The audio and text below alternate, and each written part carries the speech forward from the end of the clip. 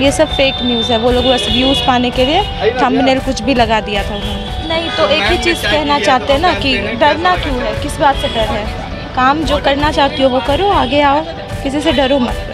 ये यही सब आप लोग को देखे थे तो बहुत फ़ेमस हुई थी तो सोचा था कभी उधर जाएँगे तो पियेंगे लेकिन जब पता चला कि यहीं पे आ गया तो ये तो मेरा डे आप देख रहे हैं number one digital news channel TD news सच्ची और बड़ी खबर। नमस्कार टीडी न्यूज़ देख रहे हैं आप। मैं हूँ आपके साथ प्रतिभा सिंह। इस वक्त हम पटना के बोरिंग रोड चौराहा पे मौजूद हैं। प्रियंका गुप्ता ग्रेजुएशन चाय वाली है। बेली रोड से बोरिंग रोड का सफ़र कैसा रहा? आइए हम उन्हीं से जानते हैं। तो प्रियंका जी बेली रोड से बोरिंग रोड का सफ़र कैसा रहा? मतलब उधर बीच तो हम दुकान ही ओपन नहीं कर पाए ना बीमार पड़ गए थे। तो मैंने उसके बाद मैंने सोचा था कि मुझे बोरिंग रोड में मिल जाता तो अच्छा होता तो मिल गया इधर बोरिंग रोड में वो आपके लिए बेस्ट जगह क्यों नहीं था? आपने क्यों सोचा कि मतलब बेली रोड से बोरिंग में से वो उसका बहुत सारा रीज़न था। एक तो मेरा ये स्टॉल वहाँ पे आता नहीं जगह की कमी थी उधर। दूसरा मेरे वजह से उधर बहुत गंदगी हो रहा था। मुझे कॉलेज ने कभी ऑब्जेक्ट नहीं किया कि हाँ स्टॉल मत लगाओ बट मेरी भी तो रिस्पॉन्सिबिलिटी बनती है ना। पूरा गंद, गंदगी उधर हो रहा था। स्टूडेंट्स को आने जाने में प्रॉब्लम हो रहा था। तो मैंने और वहाँ मेन बात है शाम का कोई उधर स्कोप ही नहीं है लगाने का स्टॉल और ये वाला एरिया मुझे बेस्ट लगा तो मैंने सोचा कि ठीक है बोरिंग कॉलेज खुलता था तब आपका स्टॉल चलता था? मतलब बाहर से ही मोस्ट 99 परसेंट लोग बाहर से आते थे। लेकिन जब तक कॉलेज था तब तक वहाँ भीड़ होती थी उसके बाद नहीं होता था। हाँ। जहाँ तक मुझे पता है कि आपके स्टॉल में कुछ लोग जाकर अ, तोड़ फोड़ भी किए थे। ये सब फेक न्यूज़ है वो लोग बस व्यूज़ पाने के लिए थंबनेल कुछ भी लगा दिया था उन्होंने। तो यहाँ आप कब से स्टॉल लगाई हैं ये? आज ही है आज से। आज पहला दिन है? आज पहला दिन है। कितने लोग सुबह से आए हैं? सुबह से नहीं लगाया था मेरा स्टॉल ही लेट से आया था यहाँ पे। यहाँ पे इसकी अनलोडिंग हुई थी यहाँ ग्यारह बजे के आसपास। तो तब से है। कौन कौन से फ्लेवर हैं बारह बजे के आसपास। पान फ्लेवर है मसाला फ्लेवर है चॉकलेट फ्लेवर है अदरक इलायची फ्लेवर है। कितने कितने में बीस रुपये में। कौन कौन से अलग अलग फ्लेवर का जो है? एक ही रेट है।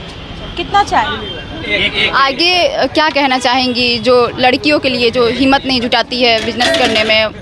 नहीं तो एक ही चीज़ कहना चाहते हैं ना कि डरना क्यों है? किस बात से डर है? काम जो करना चाहती हो वो करो आगे आओ किसी से डरो मत बस।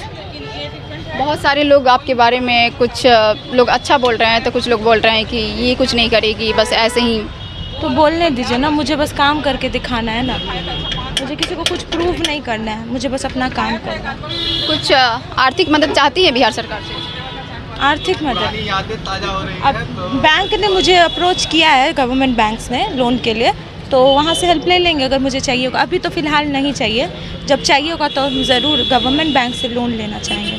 ये बिज़नेस आप कब तक मतलब लाइफ टाइम के लिए है या कुछ ही दिन के लिए? ये बिज़नेस मेरा लाइफ टाइम के लिए मेरी ज़िंदगी है ये। इसको कितना बढ़ावा करने का आप सोच रही हैं? मैम अभी तो पहले पटना में सोच रहे हैं और भी सारे स्टॉल्स डालें फिर बिहार को कवर करें फिर इंडिया को। इसके सिवा भी बोरिंग रोड के सिवा भी कहीं और पूरे बिहार में आप खोल? अभी बहुत जल्दी अभी कैसे अकेले कहाँ कहाँ संभालेंगे धीरे धीरे। स्टाफ रखेंगी?